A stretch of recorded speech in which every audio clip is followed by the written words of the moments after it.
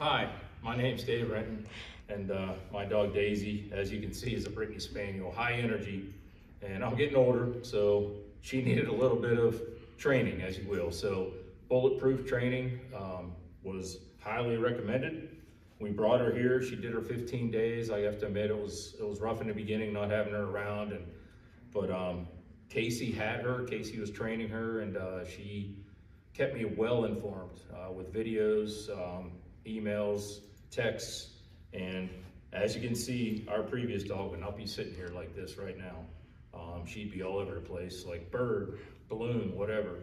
I highly recommend Bulletproof and.